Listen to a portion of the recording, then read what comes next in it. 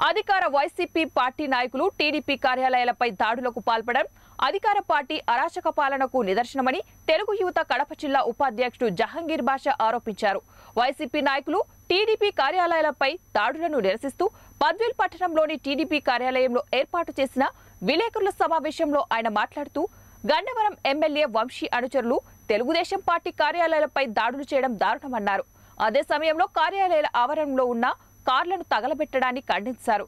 ఎన్నికలు సమీపిస్తున్న తరుణంలో వైసీపీ నాయకులు ఆగడాలను రాష్ట్ర ప్రజలందరూ గమనిస్తున్నారని అన్నారు.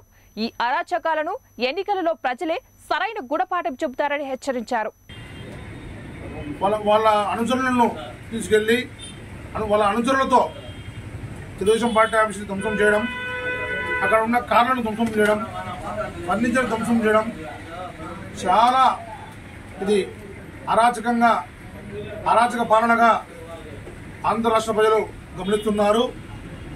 మీరు ఎంత దారుణంగా తెలుగుదేశం పార్టీ మీద మీరు కసి తెచ్చుకుంటారో మీరు పరిపాలన సాగించడం లే తెలుగుదేశం పార్టీ కార్యకర్తల మీద కార్యాలయాల మీద కసి తీసుకుంటున్నారు మీకు పాలన జరగాక పిచ్చెక్కిపోయి మేము ఏం చేస్తే మేము ఇది అవుతామనే ఆలోచనతో అల్లరి పట్టిస్తూ ప్రతి ఒక్కరూ ఆంధ్ర ప్రజలందరూ గమనిస్తూ ఉన్నారు.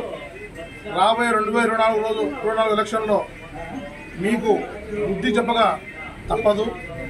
మీరు ఎన్ని ఇబ్బందులు పెట్టినా తెలుగుదేశం పార్టీ కార్యకర్తలు ఎన్ని చూపించే వాళ్ళు కానీ ఇద్దరు